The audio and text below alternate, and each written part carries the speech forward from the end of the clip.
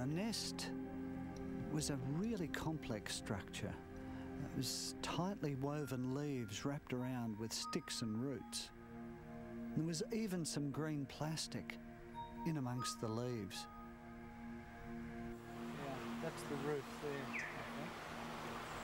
But that's when our frustrations really began.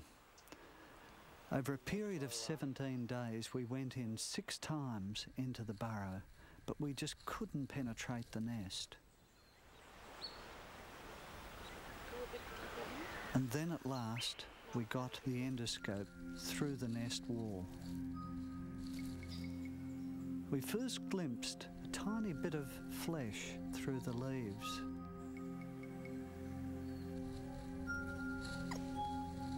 And then another period of frustration, half an hour trying to get a glimpse of the bill.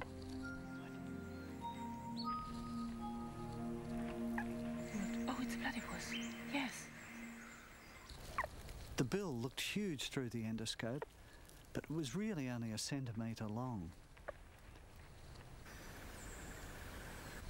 The front feet already had claws. And then, to our amazement, we saw there were two babies, not one, crammed into the tiny nest.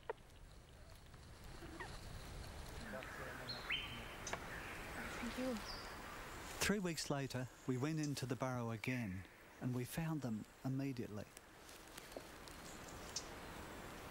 It's incredible. They'd grown enormously. Now they were covered in a thin layer of fur. There were even visitors inside the burrow. It's a tick. I think it was a tick. The ticks are only found on platypus, and already they're feeding on the blood of the young ones. Their bills are now large and very dark. We think the young are now about six or seven weeks old.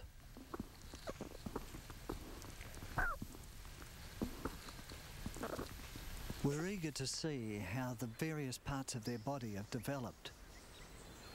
Their front feet have webbing between the toes. And on their back foot is the beginnings of a spur. The smaller one is female. The larger one has a much bigger spur. It's obviously a male. We called him Bigfoot.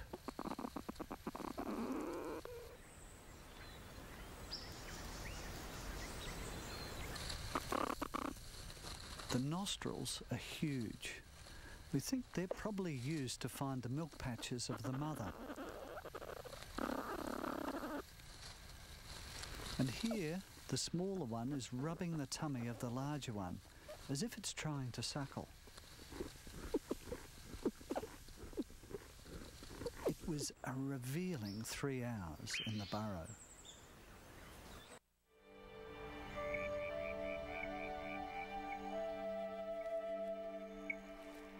Tonight, the team plan to go into Shy's burrow once again. So, while Nina tracks Shy to make sure she's out feeding, the team drills a new hole into her nesting chamber.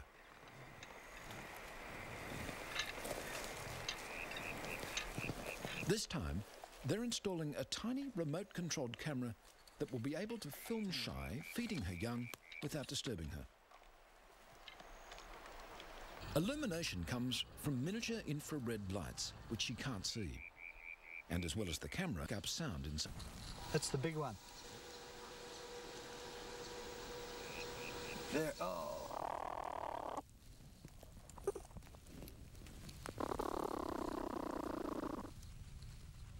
The babies are now about 13 weeks old. Their eyes are open, their bills are fully formed, and their coats have grown thick.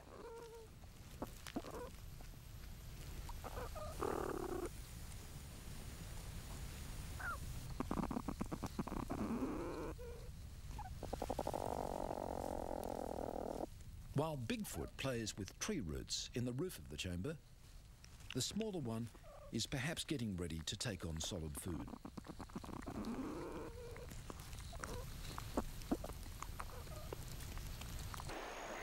Nina warns that Shy is on her way back to the burrow.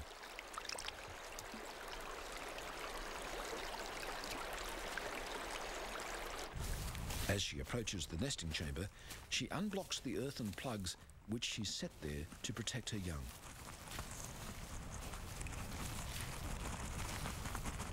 Then she's through into the chamber. Here we go.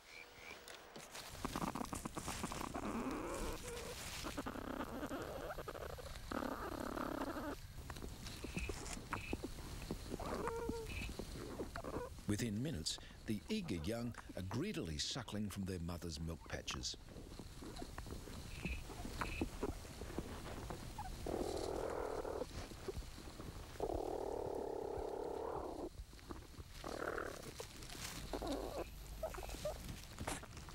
But the team is about to see behaviour that no one has ever seen before. That is amazing.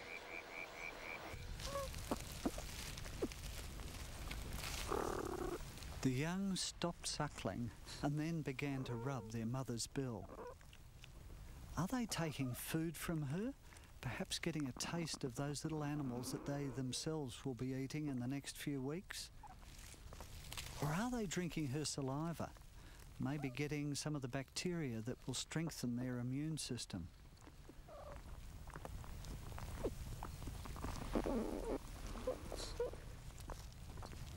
We don't really know what we're seeing in these extraordinary pictures.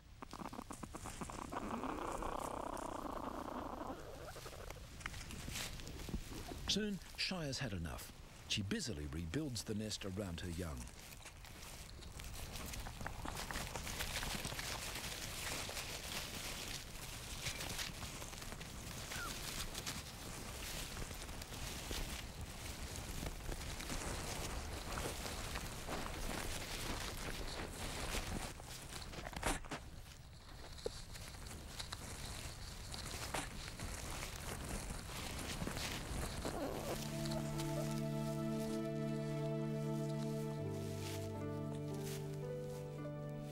And then she's gone, leaving a tangle of tails and bills behind her.